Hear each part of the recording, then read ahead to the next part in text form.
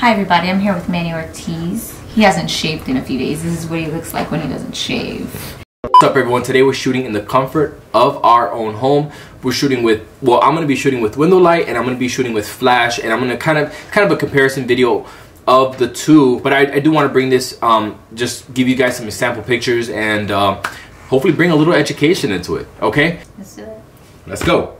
Well, one of the problems with using window light is that if it's a really cloudy day like today, there isn't much light coming through the window. So you gotta raise that ISO.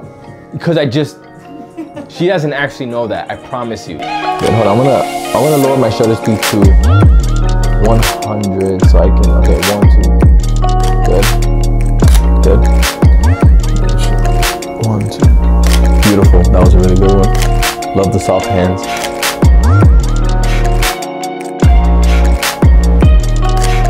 Take a step toward me. Uh, look, yeah, right there.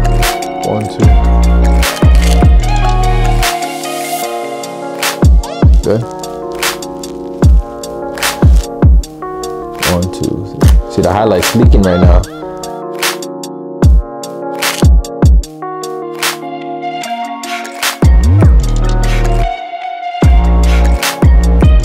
Octobox I'm using, it's a 38 inch um, Westcott softbox with a with a speed light, Godox speed light.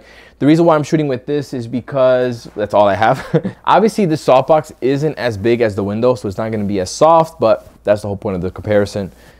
Um, This is where all his knowledge is at, right here. okay, so we have the flash set up, and we're gonna shoot it. Fuck, you're such.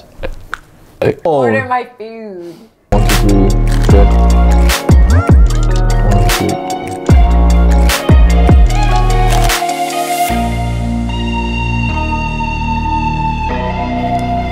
One, two. Good. Good. Good. Okay. One, two. Good. Obviously, one of the benefits of flash is being able to kind of control the light, right?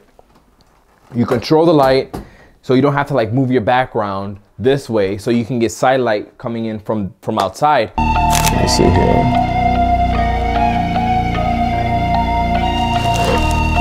One, two. Let me see.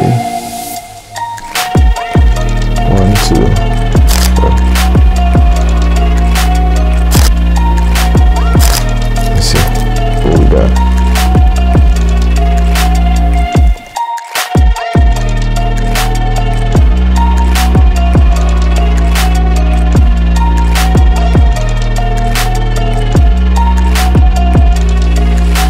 All right, in the comment section below, tell me what you use, window light or strobes and why, and what do you use them for? Because I think that's what it comes down to.